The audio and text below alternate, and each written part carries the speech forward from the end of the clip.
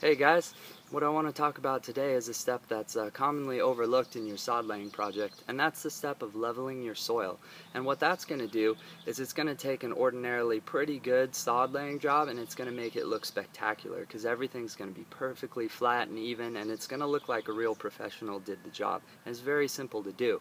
Uh, but before we can do that, we need to make sure that the soil is perfectly ready and amended and good to go to have soil or to have sod laid on top of it. And we talked a little bit about soil amending uh, in the writing above, but let me just explain a little bit more uh, why it's, it's a tricky process in this video. Depending on the area of the country that you live in and the regional climate and the type of soil that you have in your region, you're going to use different processes for amending your soil. I'm in the uh, the Southwest um, in San Diego, California, and most of the southwestern states here have a lot of clay in the soil. And so you're going to need to break that up in order to have proper drainage and a good foundation of soil for your for your sod to grow into. And so you're going to want to add some gypsum to your soil and possibly some loose uh, some fine loose sand to make it more loamy. But if you're in another region that's more marshy or, or has different um, different problems to overcome, then you're going to want to use different amendments uh, for your soil to get it ready to go.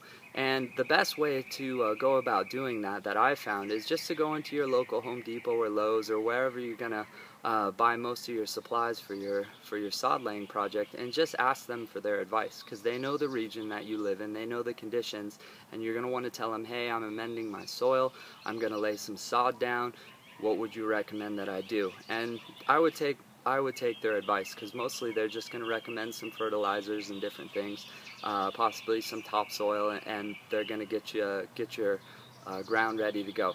So the process that I generally use in all for uh, for all sod laying projects is to one rototill your ground which we talked about in the first video above uh, and spreading some pre-emergent weed killer on top of the the ground before you rototill to mix it in with the soil and with the uh, the weed seeds that are in there to keep anything that wants to grow up in your nice fresh new soil from growing up. It's going to keep it nice and, uh, and dead so it can't grow up through your brand new sod. And after you do that and your ground is nice and loose and it has um, maybe four to six inches of really nice loose tilled earth, that's when you're going to want to uh, add in your amendments too.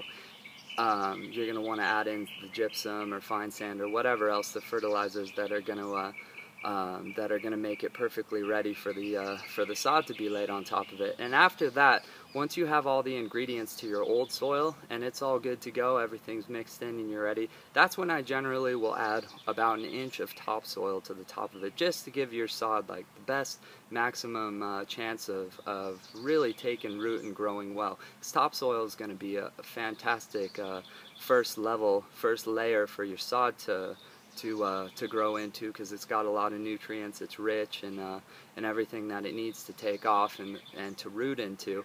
And it's pretty cheap. You can buy two cubic foot bags of topsoil at at any local Home Depot or Lowe's or anywhere, or you can generally order it in mass uh, as a cubic yard. It can be delivered to your home from uh, from a lot of the major garden centers. So it's pretty easy to get a hold of uh, and it'll go a long way. A little bit will go a long way. So once you get your, your ground um, to that point where you have your pre-emergent uh, weed killer into your uh, into your soil and all your amendments and you have your level of topsoil then at that point you're going to be ready to perfectly level your uh, level your ground so that once the sod is laid on top of it and takes root it's just going to look like a completely professional job. It's going to be completely level. Everything everywhere is going to is going to look symmetrical and nice. And it's very easy to do this. You only need a couple of tools that are uh, about 10 to 15 dollars at Home Depot. What you're going to want to do is you're going to want to go to your local hardware store and you're going to want to pick up some spikes. And I generally recommend these foot-long spikes because your ground is really loose. So if you get a shorter spike, 6 inches, 8 inches, it's not going to be able to withstand much tug to it because there's going to be because uh, your ground's going to be very loose. So you can get a couple of these for 50 cents a piece or so at your local Home Depot and you're going to want to pound them in to the ground in various parts in the corner, uh, and elsewhere of where your sod's going to be laid. And once they're all secure, pounded in the ground uh, firmly, Then at that point you're going to want to use uh, what's called masonry string and this is generally used for leveling bricks and other things, other masonry projects, but we're going to use it for our, uh, for our sod laying project.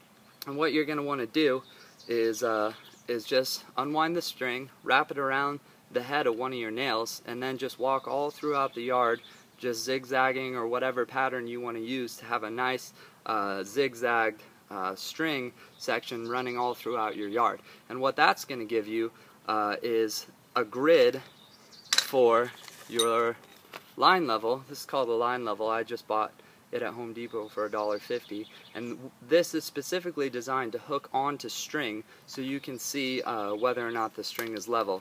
And the way that this works, let me just open it up here quick if you have a string